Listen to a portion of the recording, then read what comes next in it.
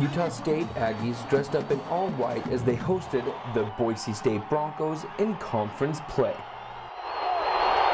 The Aggies were playing in their first game without quarterback Chuck Keeton, and Coach Wells did not reveal who the starter was going to be until game time. It's not about being down in adversity, it's, it's about overcoming adversity, and this is a team sport. Yeah, we have, you know, those great leaders, those great starters, but that's why we have other great leaders and other stars to pick that up. Reynolds would do just that with 148 yards on five catches. However, he never got a touchdown.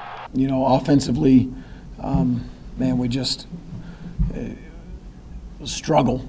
The Broncos offense would not struggle as running back Jay Ajayi would take this direct snap in for a touchdown Moments later, they would kick a field goal to take a 10-0 lead in the first quarter. The Aggies would get a touchdown in the second quarter from running back Joey DeMartino and a field goal to make the score 24-10 in favor of the Broncos.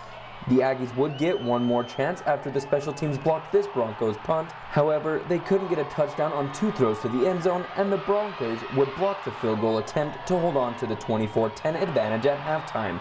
Harrison would play one possession in the second half before being pulled. I thought we were dead. I, I didn't think we had a whole lot going right there. Darell Garretson wouldn't do much better as the Broncos would win 34 to 23. Wasn't what we wanted, and it was ugly, um, you know, on both sides at times. But they fought their butt off, and I'm proud of them for that. We can cry and moan about all the adversity, all the hurting, but at the end of the day, it's about winning football games. No matter how you do it, no matter how you get it done, just go out there and get it done. Utah State spent all week trying to decide which quarterback was going to get the start. In the end, it didn't matter as neither quarterback could get the offense moving.